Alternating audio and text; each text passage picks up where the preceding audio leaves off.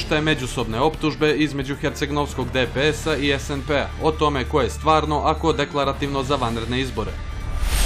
30 budvanskih porodica koje su donedavno živjele u neuslovnim barakama dobili ključeve novih stanova u Lazima. Za samo 8 dana od kada je aktiviran, svakodnevno raste broj posjetilaca i komentara na našem sajtu.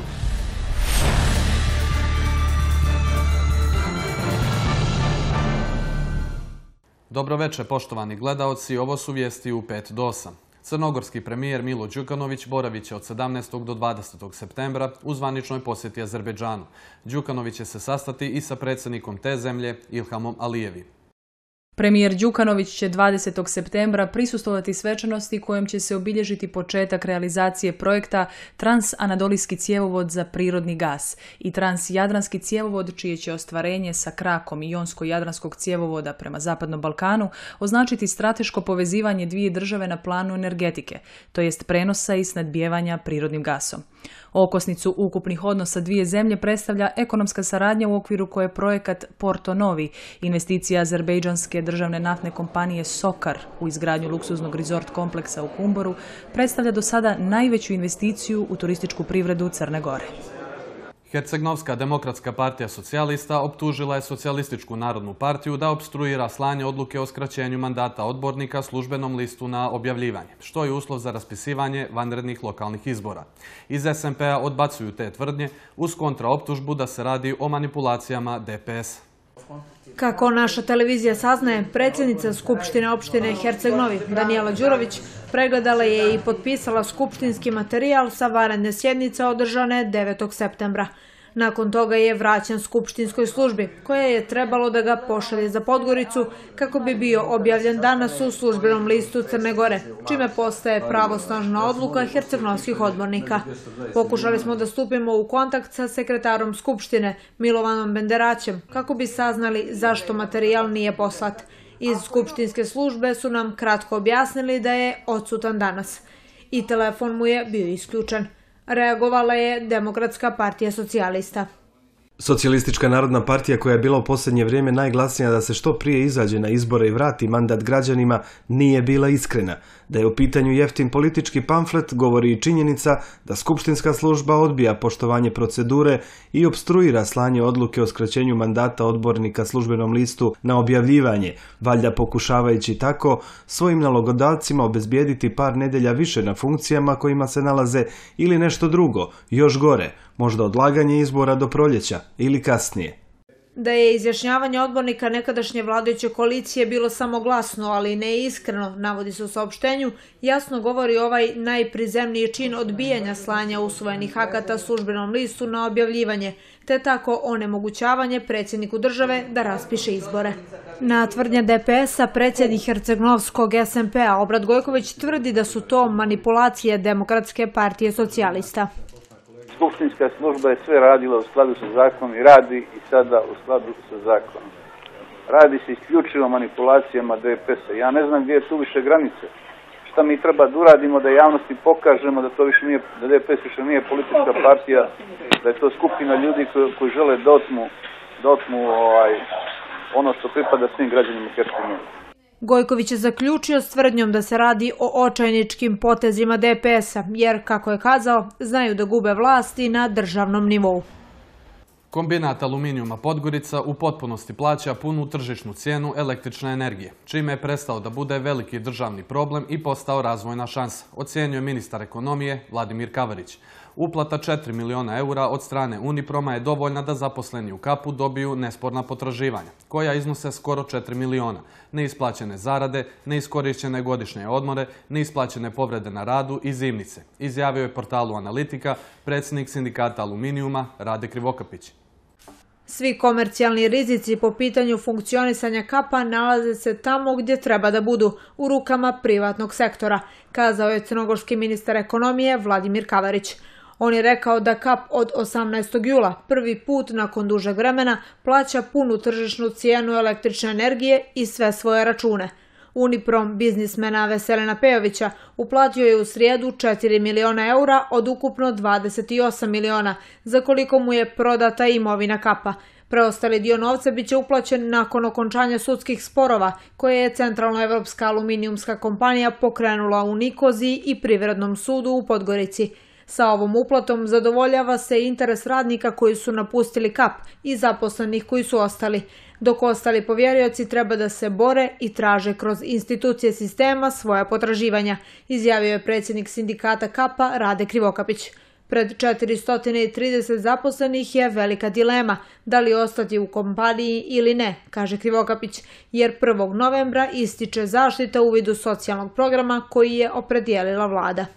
U organizaciji Ministarstva održivog razvoja i turizma, Direktorata za turistički razvoj i standarde, danas je predstavljen projekat elektronskog centralnog turističkog registra, koji bi između ostalog trebalo da doprinese suzbijanju sive ekonomije. Elektronski registar sadržat će podatke onima koji vrše privredne djelatnosti u oblasti turizma i objektima koji obavljaju ugostiteljsku i turističku djelatnost na osnovu konačnih rješenja koje izdaje Ministarstvo održivog razvoja i turizma i nadležni organ lokalne uprave opštine na osnovu ovlašćenja i zakona o turizmu i drugih zakona kojima se uređuju ove djelatnosti. Registar će voditi Ministarstvo na osnovu popunjenih i dostavljenih konačnih odobrenja za rad za konkretnu djelatnost i vrstu objekta. Podaci iz Centralnog turističkog registra su javni i bit će objavljeni na web sajtu Ministarstva održivog razvoja i turizma, osim podataka čije je objavljivanje definisano propisom o zaštiti podataka o ličnosti. Iz ministarstva kažu da će uvođenje registra značajno doprinijeti suzbijanju sive ekonomije, transparentnosti rada kao i kvalitetnijem statističkom obuhvatu podataka u oblasti turizma. Predsjednik opštine Budva, Lazar Rađanović, dodijelio je danas ključeve novih stanova u Lazima, predstavnicima 30 porodica koje su donedavno živjele u neuslovnim barakama na zaobilaznici. 30 porodica iz Budve koje su do sada živjele u jako lošim uslovima od danas je riješilo stambeno pitanje, od čega je 23 odlučilo da od opštine Budva otkupi stanove, dok je 7 porodica zakupilo prostor u kome će živjeti. Opština Budva godinama unazad predano radi da aktivna bude u pomaganju svojih sugrađana da riješe stambenu problematiku. Ovo je najkonkretniji projekat jer je lokalni budžet bio investitor, u ove dva objekta uložio milijon i sedamsto hiljada eura. Povoljni su krediti, ovaj, na, na 15 godina je e, negdje oko 165 eura će doći rata e, mjesečna, tako da zadovoljni smo, ovaj, riješili smo stambeno pitanje. Živjeli smo baš u teškim uslovima, ali dobro je. Prošle godine na ovaj način zbrinuto je 11 porodica. Svečanom uručenju ključeva prisustvovali su i Nikola Divanović, sekretar Sekretarijata za gradsku infrastrukturu i ambijent, i Danilo Popović, predsjednik odbora direktora Crnogorskog fonda za solidarnu stambenu izgradnju, koji su bili dio ovog projekta od samog početka. Odbornici Demokratskog fronta neće prisustvovati sjednici Skupštine glavnog grada, zbog, kako su kazali, izborne prevare građana. Odlučeno je danas na sastanku odbornika DF-a. Poštujući volju građana Podgorice, odbornici Demokratskog fronta ne žele da budu dekor u stoličenju nelegitimno formirane vlasti. Navodi se u saopštenju DF. Miodrag Lekić podnio je juče ostavku na funkciju odbornika u Skupštini glavnog grada.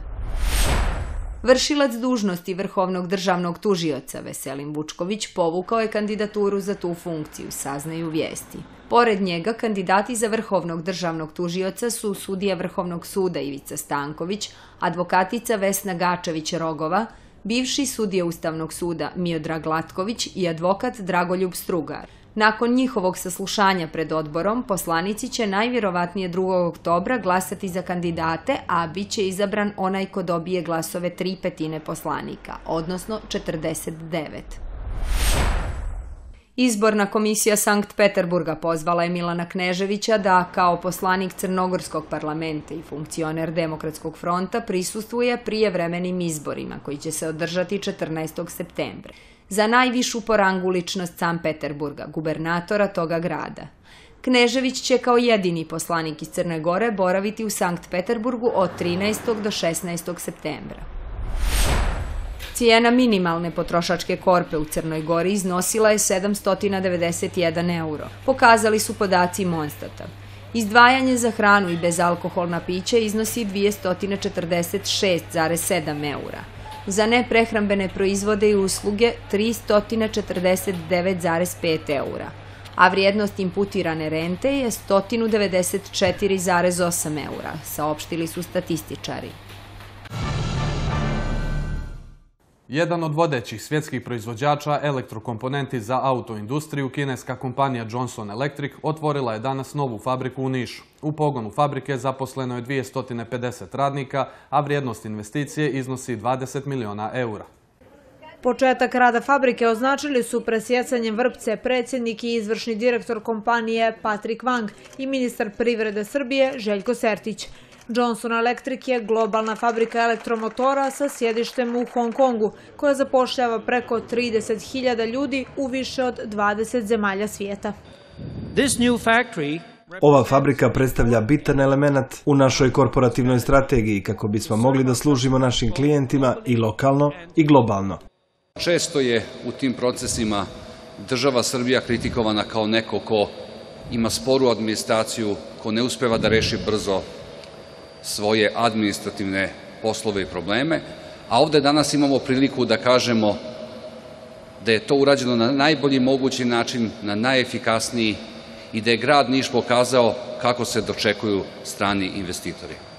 Za otvaranje fabrike Johnson Electric u Nišu grad je omogućio nabavljanje svih neophodnih dozvola za gradnju i rad i ustupio na besplatno korišćenje građevinsko zemljište, dok je vlada Republike Srbije dala subvencije za svako novo radno mjesto. Planirano je da do kraja 2016. godine bude zapošljeno 1050 ljudi, uglavnom visoko kvalifikovanih stručnjaka iz oblasti elektrotehnike.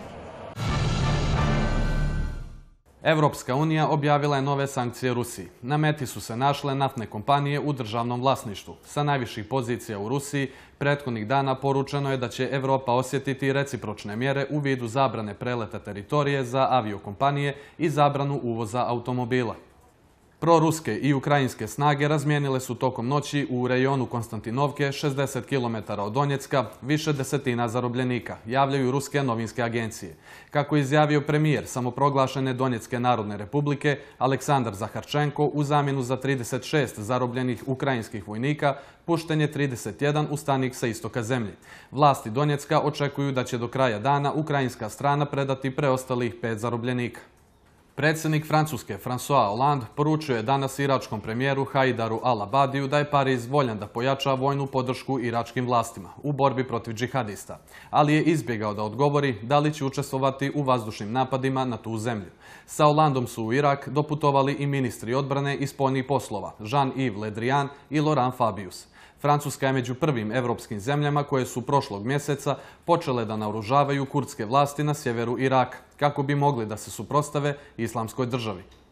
Evropska komisija odobrila je 9 milijardi dolara vrijedan plan medijskog magnata Ruperta Mardoka o osnivanju pan-evropske TV mreže.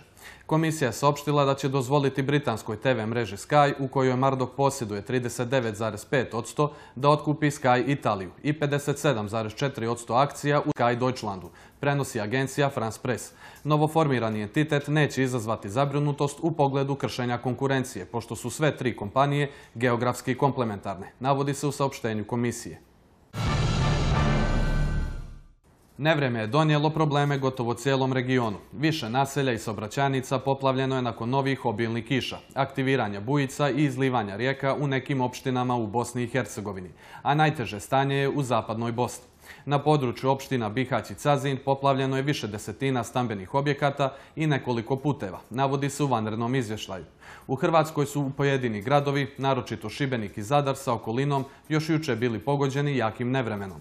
Kako navode hrvatski mediji, u Splitu su potopljene ulice, kuće, sportske dvorane a za samo dva sata bilo je preko 300 dojava građana o poplavljenim prostorijama. Više od 250 vatrogasnih intervencija, oko 30 potopljenih brodova, uništene javne saobraćajnice i šahtovi samo su dio vidljive štete koju je u Vodicama prouzrokovalo jako nevrijeme, a poplavljeni su i stambeni i javni objekti. Loše vremenske prilike najavljuju se i za danas. Televizija Boka poslije nepunih godinu dana emitovanja programa koji je postao referentna mjera u medijskom prostoru Boke Kotorske i Crne Gore aktivirala je i sajt koji svojom aktuelnošću, angažovanošću i objektivnošću u vrlo kratkom periodu bilježi veliko interesovanje internetskih korisnika. Dosljedno programskom konceptu televizije, sajt se bavi svim aspektima društvenog, političkog, kulturnog i sportskog života Boke, Crne Gore i regiona. Poseban akcenat stavljen je na neuralgična i turbulentna dešavanja u političkom životu Herceg Novog. Samostalni i slobodni u sagledavanju stvarnosti, televizija i sajt TV Boke i dalje ostaju na tragu interesovanja i prava na slobodnu informaciju građana. Sjedinjene američke države su bez mnogo muke savladale Litvaniju 96-68 i plasirale su u finale svjetskog prvenstva u košarci koje se igra u Španiji. Dream Team je vodio gotovo od starta, a meč je definitivno prelomio u trećoj dionici, koju je dobio 33-14. Košarkaši Srbije i Francuske borit će se večeras za drugo mjesto u finalu Mundo Basketa u Španiji. Litvanci su na startu u nekoliko navrata imali dva pojena prednosti, ali je selekcija Sjedinjenih američkih država svaki put uzvraćala, da bi u četvrtom minutu i prvi put povela. Raspoloženi Amerikanci su polovrijeme dočekali sa osam pojena prednosti i, kao i na većini prethodnih utakmica, na startu drugog polovremena prelomili meč, napravivši seriju 10 naprema 0. U četvrtoj četvrtini igralo se u laganom tempu. Amerikanci su otaljavali posao, dok su Litvanci pokušavali da poprave utisak. Očekuje se da ni večeras uzbuđenja neće faliti i da će drugog finalistu Mundo Basketa odlučiti potez nekog od razigranih igrača sa bilo koje strane. Utakmica između Srbije i Francuske igra se od 22 sata. Danas je počeo šesti vaterpolo turnir u Sarajevu, na kojem će se takmičiti crnogorski šampion Jadran iz Herceg Novog, splitski Jadran, vice šampion Evrope Radnički iz Kragujevca i ruska ekipa Kinef iz Sankt Petersburga. Na turniru, čiji je cilj promocija vaterpola u Bosni i Hercegovini, u 17 časova počeo je susret Hercegnovskog Jadrana i imenjaka iz Splita. Drugog dana ekipa sa Škvera se sastaje sa Radničkim, a u nedjelju sa ruskim Kinefom. Bile su ovo vijesti u 5 do 8. Opširnije o novostima iz Boke na portalu naše televizije. Ostanite uz naš program jer slijedi Boka danas.